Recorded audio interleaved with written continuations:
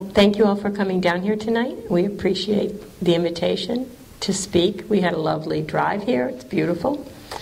And being in Burlington all the time, we don't always get through the Vermont Hills. So we're here to talk about three things Fukushima Daiichi and what's happened there, Vermont Yankee and what some of the expectations may be for all of you with the decommissioning planned in beginning in uh, shutdown in 2014, and uh, a little bit of our personal history we were asked to speak about, and about Fairewinds Energy Education. Yeah, I wanted to start today with a, a, a brief discussion of um, uh, sort of how we got into this situation and, and, and, why we're all here to begin with. Um, and then Maggie and I will, will go to a PowerPoint, and after that PowerPoint, there'll be uh, time to answer questions. Um, think about it. We, this meeting would not be necessary if policymakers in the United States uh, and at the NRC really believed what they saw on television, uh, if they really believed that the Fukushima Daiichi accident happened, we wouldn't be having this meeting tonight. Because they would know, like we know, that accidents can happen, accidents do happen, and that accidents are inevitable. Um, and um, given that and the great consequences of a nuclear accident, um, I, I, think policymakers uh, are, are, fooling themselves if they believe that it can't happen here. I have a saying sooner or later in any foolproof system, the fools are going to exceed the proofs. And, and I think that, that, you know, that, that proved itself repeatedly. Yeah, Yankee and uh, all the plants in the United States are, have an interesting uh, dichotomy. The, um, uh, the Nuclear Regulatory Commission will tell you the chance of a meltdown is one in a million. And um, uh, they use a thing called probabilistic risk assessment, PRA. And I like to call it PRAY because that's really how the numbers developed, I think, uh, to, to, to claim that it's a one in a million probability. So if you take a million and divide it by 400 nuclear plants, that means that the chance of one meltdown is something like every 200, uh, 2,500 years. So from the time the Parthenon was built until now, um, there should have been just one nuclear meltdown. So that's what the NRC's PRA tells us. But, but in fact, the, um, the, the real world tells us something different. There's been five meltdowns in, in my professional career, um, uh, starting with Three Mile Island, uh, Chernobyl, and, and three at Fukushima. So if you use those numbers, 35 in the numerator and 7 in the denominator, uh, 5 in the denominator, you wind up with about uh, an accident every seven years. So let's round it off to once a decade. And policymakers are blinded by the PRA when in fact the, the data that the, the world gives them uh, is in fact a lot more reliable. I recently, I recently gave a um, gave a speech uh, at, at, um, at, Pickering plant up in Canada, and the um, uh, the Canadians do things a little bit differently there. You actually get to present directly to the commission, but all the people before me said that um, Pickering should be allowed to continue for another five years. It was up against the end of its useful life, and they didn't want to fix it, they just wanted to run it five more years. And the logic was something like, you know, we've got, um, we've got nice people who work at this plant, and um, they're in the church choir, and uh, they're coaching our kids in Little League or in soccer, and they pay lots of taxes, and they're a good corporate citizen. And by, by that logic, you know, good people will know if their plant is not safe or not. Well, I got to know the nuclear reactor operators at, at Three Mile Island. After the accident, I had people on my staff working at Three Mile Island, so I got to know Three Mile Island people. And I can assure you, they were incredibly conscientious people, pillars of their community, and very safety conscious. And yet, an accident happened after, after Chernobyl, I got to know some of the operators that, that, that were there. And um, th- there's nobody who's a better engineer than the, than the Russian engineers. They, they are phenomenal engineers. totally committed to safety. Their families lived within sight of the nuclear reactor. Nice people. And yet an accident happened. And I also, Maggie and I wrote a book that's only in Japanese, but uh, it was a bestseller in Japan. Um, and after we wrote the book, uh, we got to know a lot of uh, the people who worked at Fukushima Daiichi. And it's the same thing. You know, they lived a couple miles away. Um, the, the Japanese are meticulous, and yet an accident happened. And I think the lesson here is not that, um, you know, just because these people are nice, that, the, um, uh, that an accident won't happen. An accident can happen despite good people working at the plant.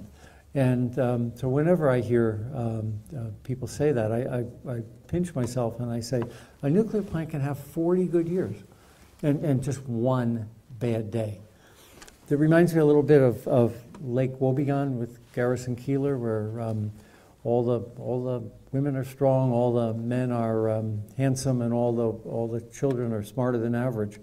The, um, if, as I go around the country, I bump into uh, uh, you know, lots of towns that have a nuclear plant. And the plant is, um, um, everybody in town thinks their plant is better than average. So um, I, I, I, probably should write to Garrison Keillor and get him to use that in his, uh, in his analogy. The Lake Wobegon reactor probably is better than, than average as well. But the takeout here is that this is a technology that can have 40 great years to be wiped out by one bad day. And it's happened five times in 35 years. So it's not uh, infrequent, and God knows it's not inconsequential. Um, Mikhail Gorbachev has said that the uh, accident at, um, at Chernobyl is the cause of the collapse of the Soviet Union. Not perestroika, it's the accident at Chernobyl. And you know, if you look at the, what's going on in, in Japan now, um, I just spoke with Prime Minister Kan last week, to, to he and I and several others, and Prime Minister Kan was the guy who was running Japan at the time of the accident. And, and he was pro nuclear before the accident. He said we should never start these plants back up again because the risk is too great. 40 good years and one bad day. Well, what does it mean if, um, uh, when, when a company like Entergy says that Vermont Yankee is safe. Um, what, what, exactly does that mean? Um, that means that the, the Nuclear Regulatory Commission in congressional hearings has admitted that they only look at less than 5% of the paperwork in the plant. And so, what safe means is that an inspector has checked boxes off showing that, that um, the data is available. Um, but the other pieces of that that Entergy doesn't, doesn't share with you is that these um, commissioners, the NRC commissioners, are uh, appointed by Congress, but they are vetted by the nuclear industry before they get their appointment. So every one of these commissioners is, um, uh, is in a position where um, to get the commission, he needs the approval of the industry, which he is supposed to be um, overseeing. The, so, what exactly does it mean to be safe? Um, it means that uh, that same lobbying group called NEI, Nuclear Energy Institute, works with the Nuclear Regulatory Commission staff to develop the laws that these plants work under. So, laws that were written by lobbyists that work for the nuclear industry and approved by commissioners who are vetted by the nuclear industry um, are then used as a cover for a company like Entergy to claim that they're safe. There are only two commissioners, and, and now a third, who finished their terms and did not go back to work for the nuclear industry. One is Peter Bradford from Vermont. Uh, he lives in Peru, Vermont, and he went to work uh, as head of the Utility Regulation Board for New York State. Um, he was a commissioner during Three Mile Island. The other is Victor Gilinsky, and he's in California now, correct? Yeah, yeah. And he also did not. And now, current Chairman Jaczko, who was forced, he was the last chair. There's uh, Allison Macfarlane is now the chair. But Chairman Jaczko was drummed out last year by the nuclear industry And uh, of course, because he wouldn't capitulate and he was trying to uphold the law that they've been chartered to do, which is protect public health and safety first. So that's when you hear Entergy say, well, the Nuclear Regulatory Commission's approved it. Um, that was based on commissioners that they had um, individually uh, approved. So the, let, us talk a little bit about some of these corporations that run nuclear power plants. And I'll talk about Entergy because it's in our backyard, but um, it's applicable to all of them. Um, the Nuclear Regulatory Commission allowed all of these power plants to be spun off as something called limited liability corporations. It's an LLC. And um, so Entergy owns uh, a dozen nuclear power plants, each of which is an individual LLC. Vermont Yankee is an LLC. Um, uh, on, the, on the Hudson, we've got Indian Point 2 is a separate LLC from Indian Point 3. Well, what does that mean? It means that if um, Vermont Yankee can't pay its decommissioning bill, um, the LLC can declare bankruptcy and the corporation is shielded. If there's an accident at Indian Point 2 that releases radiation, the Indian Point 2 can declare bankruptcy, and Indian Point 3 can continue to generate profits that go to Entergy, and it's not responsible for paying the cleanup caused by the other unit. So, this LLC structure is a, is a, a way to avoid liabilities, hence the name Limited Liability Corporation. Now, Entergy wouldn't do that, would they? They did. In, after Hurricane Katrina hit New Orleans, Entergy had the distribution company that ran the power in New Orleans. And um, uh, they declared bankruptcy. They left the city of New Orleans high and dry. And they used their LLC structure to do just that. Um, what that then caused was a, a, government bailout of Entergy's LLC, and they actually took community development block grants that were uh, aimed at millions of dollars in community development block grants that were aimed to help the poor people of New Orleans. And they gave that money to Entergy instead to dig itself out of bankruptcy. And Entergy gave its, bon- its executives bonuses. So that's problem one with the corporate structure. Now, on Entergy, we discovered when I was on the oversight panel that Entergy was not putting enough money into the plant. I, I don't think any of us are surprised there. But part of the problem with that, the, with the leak that we had a couple years ago, was that they hadn't put enough money into the plant, and uh, they were basically riding it into the ground. What the panel said uh, was, um, I've got the words right here. Um, limited resource allocation for non safety systems might therefore be systemic within Entergy. That's what five people unanimously said, including uh, three who were definitely uh, uh, pro nuclear.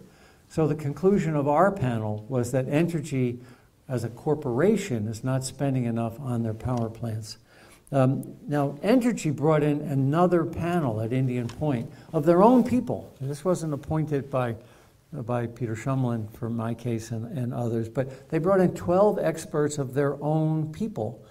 And, and on Indian Point, they came to the same conclusion. Here's what they said um, The physical condition of the plant is visibly deficient. The care and maintenance of some other plant systems and structures do not meet the standards of high performing plants.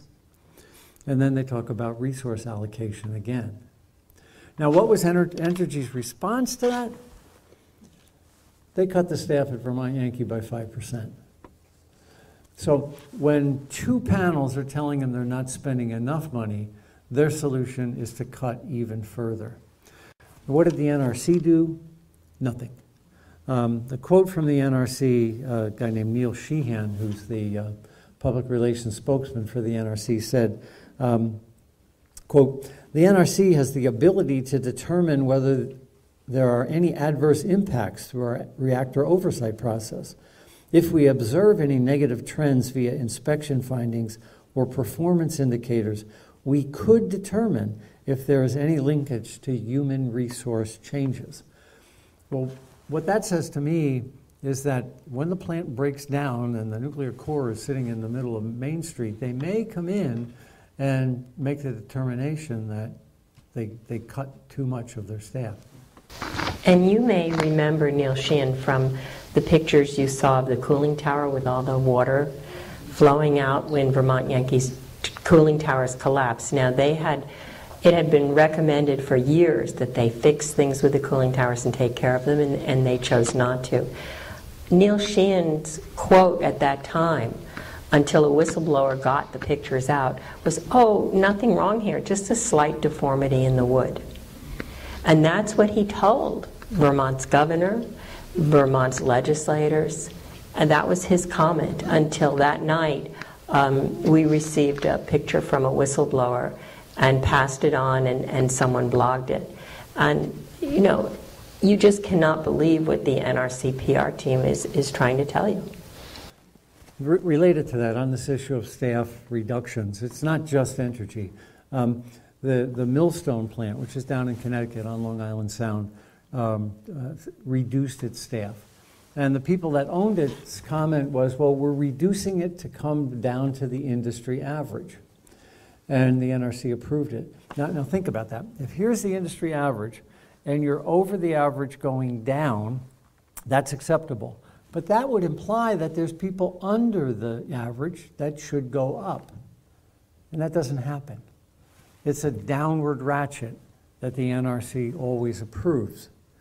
So um, it, it, again speaks to this oversight issue, and, and corporations are really uh, running the show at, um, at Entergy. I mean, at the NRC, I'm sorry. Now, there's a, a couple things getting into Vermont Yankee specifically. Uh, we, get, we get emails all the time about the accident at Fukushima, and is it like a plant in our country? Um, and let's look at Vermont Yankee. Uh, Vermont Yankee is identical to Fukushima Daiichi. Uh, all three units are, uh, two of the three units are identical to Fukushima Daiichi. And one of them had just gotten approval to run beyond its 40th year, just like Vermont Yankee got approval to run beyond its 40th year. So we're dealing with the identical technology that we've seen blow up three times at Fukushima Daiichi. Um, and this was known for years. Maggie and I were walking literally six weeks before the accident. This is in February through our neighborhood. And, and Maggie said, You know, we do a lot of expert reports. Um, where do you think the next nuclear accident will be? And I said, I don't know where it's going to be, but I know it's going to be in a General, react, General Electric boiling water reactor with the Mark I containment. And that was exactly what Fukushima Daiichi was. Three days after the accident, the NRC was recording a phone call between their executives, and one of their executives blurted out, This is the worst containment in the world. Now, he didn't come to that conclusion three days after the accident. It's been known for 20 years. And we've got one here in Vermont, and thankfully, hopefully, it will hold together for one more year before it's shut down. But there's 23 others just like it in the United States that continue to run. So the NRC senior guy says this is the worst containment in the world, and yet in America we let 23 of them continue to run. Worse than that is the spent fuel pool, and we'll talk about that in the slides. The spent fuel pool has, um, um, uh, Vermont Yankee, it's a big box, is the reactor building. At the top of that box is where the nuclear fuel is stored. At Fukushima Daiichi, they stored seven years worth of nuclear fuel there. Vermont Yankees got close to 40. The fuel in that pool contains more cesium than all of the atomic bombs that were ever fired in above ground testing. 700 bombs worth of cesium is in that pool on the top of Vermont Yankee. And why does cesium matter? I mean, why is that a radioactive isotope that's important? Because it's a muscle seeker. You eat bananas, you get potassium in your body cesium is absorbed into your body just as potassium is. Uh, in Chernobyl, since the accident in Chernobyl, they've had a thing with youth called Chernobyl heart because the heart absorbs so much cesium it malfunctions or grows abnormally. all different organs can be impacted by the cesium that is absorbed into the body. The nuclear people will like to say, well, cesium's just like potassium. And chemically it is. They're right above each other and right below each other in the periodic table. But the, the energy that's released when a cesium atom disintegrates is a million times more powerful than the energy when a, when a, uh, a potassium ion um, uh, uh, is ejected. So um, the, the comparison is false, but you might, you might hear about the banana equivalent doses. And it's, it's, uh, it's designed to obscure the facts. Well, the other thing is um, uh, the, the, last piece of this, and we don't think of it much in New England, but it's earthquake frequency. Um, you know, that, that seems to be a West Coast problem. Well, in fact, East Coast plants are more dangerous from the standpoint of earthquake damage than the West Coast plants.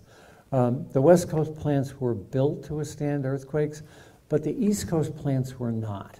Um, do you remember the earthquake we had like two years ago down, uh, it was in Virginia, and it was about 10 miles away from the North Anna nuclear plant. The, um, the, the, ground moved about six inches, just literally the earth moved six inches sideways. And um, it was a Richter 6. And the nuclear industry's position was, isn't this great? The plant withstood a Richter 6. Well, the plant's maximum design basis was a Richter 6. I would hope it met what it was designed. But what the industry doesn't tell you is that they thought a Richter 6 was a once in a thousand year occurrence. And it happened after 30 years. So the, the, the issue of uh, can we have an East Coast earthquake that's worse than recorded history? Sure. Recorded history, the, the worst East Coast earthquake is uh, Cape Ann, right off of Boston. And it happened in 1730 and uh, totally leveled the city. Um, and um, so we do have East Coast earthquakes that um, our plants on the East Coast are, un, are, are not designed to withstand. In today's economy, all of you have heard the questions and discussions about fracking for gas. A lot of companies, a lot of the fracking companies are saying, well, we can frack near nuclear power plants. Uh, that's land that's available. But we want you to know that the fracking causes seismic activity, it causes earthquakes. And those earthquakes then would impact nuclear structures if they frack for gas near a nuclear plant. So let me sum it up. Um, it's easy for the, to the nuclear industry to allow arrogance and hubris to set in when you look at the sheer size of a nuclear plant. I mean, when I was uh, on the panel, the oversight panel, uh, Entergy would bring in farmers and, and, and people in the community, and they'd look at this plant and they'd look at how robust it is compared to their barn. Well, the, the, the question that nobody asked is why does it have to be this robust? What is the beast that we're holding back that, um, uh, that requires the building of this robustness? And I think Daiichi's shown us that um, firsthand that the safety systems can fail catastrophically.